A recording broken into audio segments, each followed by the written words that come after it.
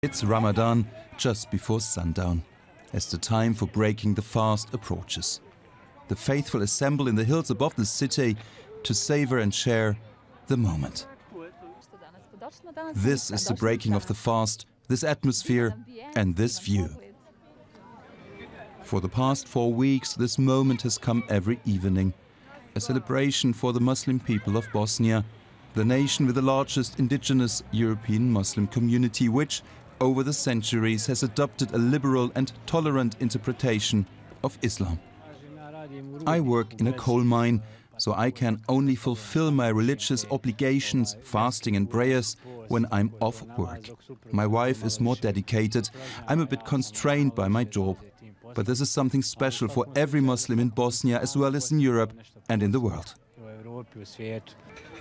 Then the time to break the fast arrives.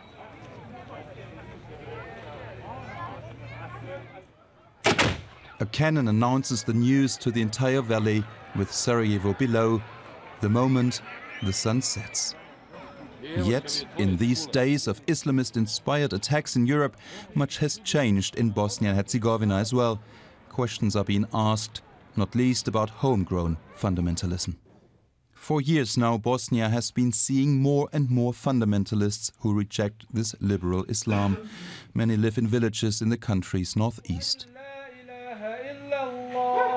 They're demanding a stricter interpretation of the faith and are dissatisfied by the replies they're getting from religious authorities.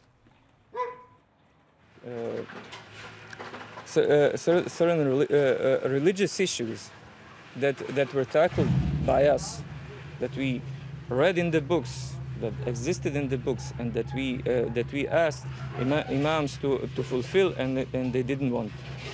But in multi-ethnic Bosnia, each splinter group from the liberal Islamic community is seen as a threat by other religions as well.